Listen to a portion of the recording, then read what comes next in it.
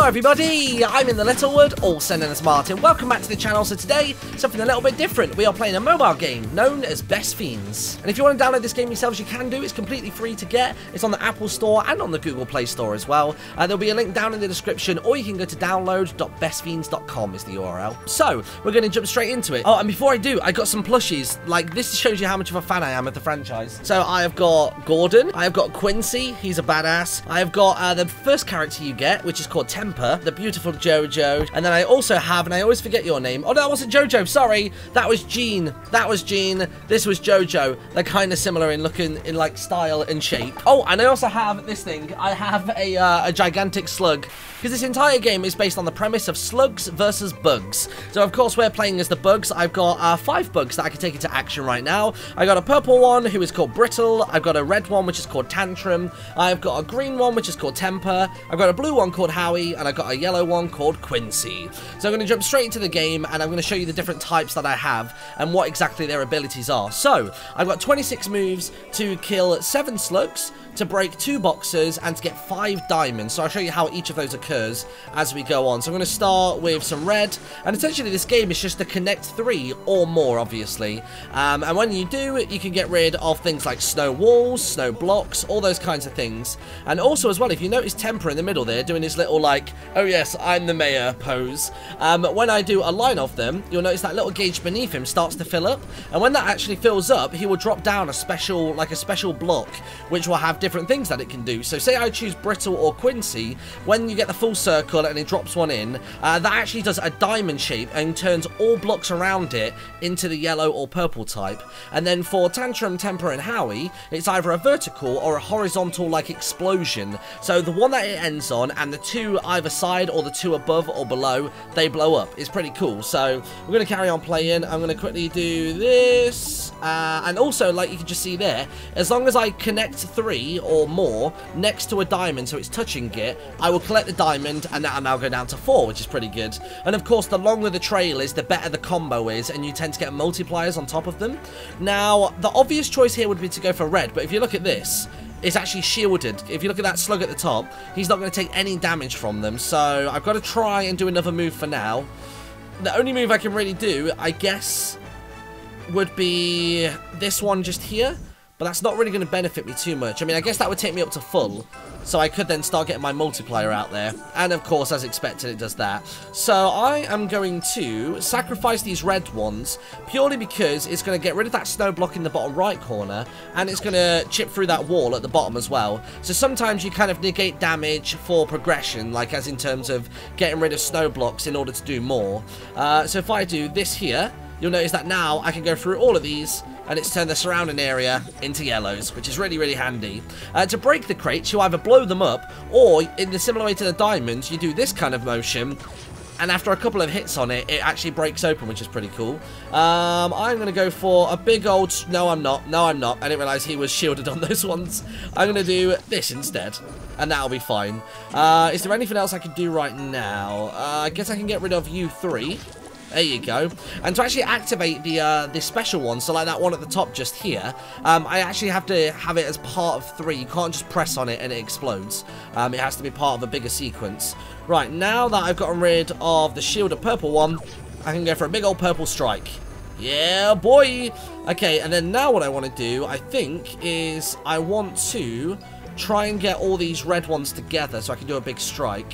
So what I might do is I might start with this. There you go. And then if I get rid of these just for now...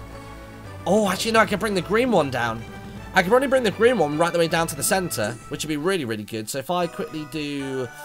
I don't know, maybe like this attack just here. If I can bring that green one right the way down to the middle. Yes, if I get rid of that. This is my plan, look. You ready? So now I can do a horizontal strike. Actually, let's make this way bigger. We're going to go around the loop, all the way down to here, and then right there, See what I've managed to do now? I'm actually now able to create, uh, break two of the crates. And that is the middle challenge done. So now I've got 10 turns to kill two slugs. That's all I've got left to do. So we can start off with a load more damage, because these ones right here, they do additional damage, the special ones. So if I go for that one right there, and break all those away, look at that. That's nearly one shot, one kill, which is brilliant. Um, I'm going to go for this. No, maybe not, because he's shielded by those. Uh, let's get this cleared out the way. And we'll try and bring that red explosive down. There you go. Nice. Okay, let's go for this. There you go. And hopefully the yellow one might fall.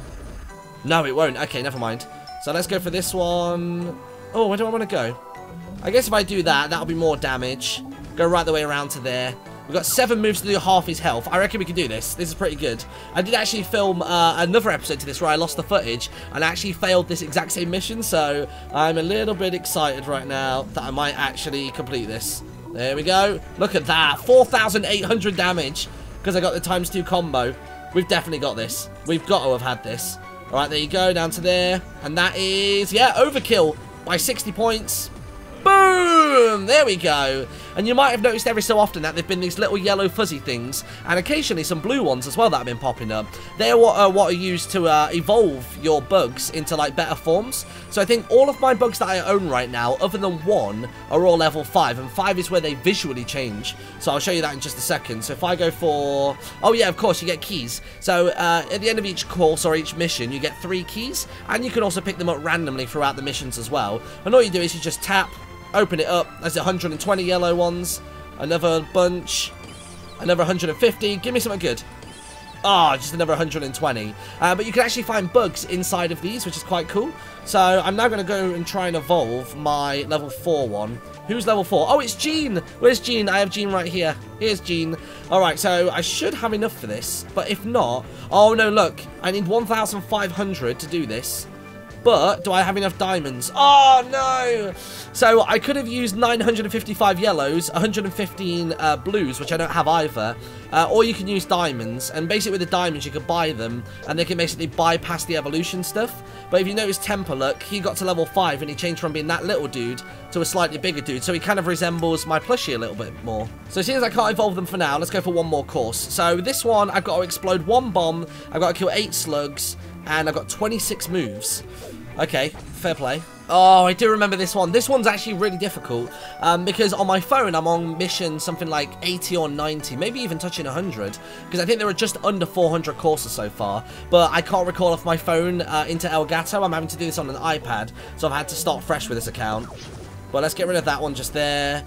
Let's start getting rid of that green one just there. I kind of need to try and get rid of the higher up ones because then everything can start filtering down and into the center part like that there. So let's go for this. I'm going for that one again. We're just getting rid of more snow and more of the blocks. I'm going to go for a three. Yeah, boy. Uh, let's go for a little trio just there. There you go. The quicker I get to the bomb, the better. And to blow up the bomb, it's not a case like the diamonds and the snow where you have to do it next to it. I actually have to have one of my horizontal or vertical, um, that was the wrong way around, one of my horizontal or vertical explosions actually land on the bomb. Um, and that basically blows up the entire field. I'm talking like this entire square gets rid of the lot. It's great. So I'm going to go for a loop-de-loop -loop around the side there. Uh, where to next? I'm going to get rid of that lower one again. And I should probably start by lowering down this side. Ah, oh, I was just about to go there. I was literally just about to combine those yellow ones in the bottom left corner, and then he went and spit a tooth on it. And basically that blocks you from being able to do anything. So you've obviously got to, much like the diamonds, you've got to connect something next to it to get rid of the tooth. That is genuinely very annoying. Alright, let's get rid of these lot. Oh, there you go, those four. And then these green ones can start coming in. And I could probably get a pretty big combo here on the green ones. And that'll get the horizontal explosion almost at full. Nearly, nearly at full. Going to do a big yellow one just there. Right, that purple one should come down far enough. Yes. So I can do this. There you go. Nice big combo just there. Need to get a few more greens. That should be enough greens there, actually. Does that put me to full? Yes, it does. All right, okay. Now I need to try and bring that to the bottom of the board. So, if I do this... Uh, what else can I do here? Gonna go like that. There you go. Bring those right the way down. And now I kind of need a bridge across to the side there. This might actually be enough. If I get rid of those blue ones, and then get rid of the... Oh, actually, is that going to be reach? Oh, it does reach. Okay, cool, perfect. Boom! And that usually does a buttload of damage as well. That's instantly killed three slugs in, like, one go. This is great. So now I've basically just got to do enough damage to kill him. He's got 8,700 health, so I've got to do that much damage in this little time. So what I'm going to do is I'm going to bring you down to here, because I'd like to think... Oh, I thought maybe I could get enough damage, uh, enough, another purple down there. Yes, now I can. Alright, this might work. Oh, that thing just there, actually, that he just dropped, is, um, it's just kind of like saliva. And basically, you have to break a block next to it in order to get rid of the saliva, and then you can carry on as normal. Basically, that's different to the tooth. The tooth will fall down with gravity, but that slimy saliva thing will actually hold it in place, like in physical space. So obviously, if I start clearing ones beneath it, nothing's going to drop down below it, so it can get pretty annoying. But if I do this right here, I'm going to go for as big a combo as I can muster up right now. Oh, that doesn't actually reach that far over in that direction. I thought it might have done. okay, that wasn't as cool as I thought it was going to be. Never mind. Uh, and something to bear in mind as well is that rather than choosing all of the purple ones to attack with, he only has 150 attack brittle. Whereas if I've got a big combo like this green one right now, that's got 250 attacks, so that's going to deal way more damage in this short window that we have. Because look at that, nearly 3,000 damage. I might just do this. If I get a big enough combo right now with this purple one, that might put me in a good position with the rest to deal some serious damage. That's about as good as that combo is going to get, and it's enough. 3,150. Oh, yeah. I love this game so much. It's amazing. Right, there you go. That one explodes. That one explodes. And so do the rest. So that's the thing to point out. If you're if you've got moves left over afterwards, what it would do is it those remaining moves will drop down onto special uh, blocks first, and then it'll go to regular ones after it. Right, so we've got three keys. Let's see if we find a bug. No, no bug there. No bug there. No bug there. But I did get some blue ones. The blue ones are pretty good. Sweet, there we go. All right, cool. Well, I'll tell you what, I'm going to leave it there for today. Thank you so much for watching, everybody. In the comment section below, I want to know who is your favourite bug. If you play Best Fiends or if you want to go and download it, then please feel free to. My favourite one is definitely this one right here just because of her pretty fabulous lashes. Look at those eyelashes, they're great. Yeah, JoJo's probably my favourite, so let me know in the comment section below. Go and grab the game, and I will see you all next time. Bye-bye!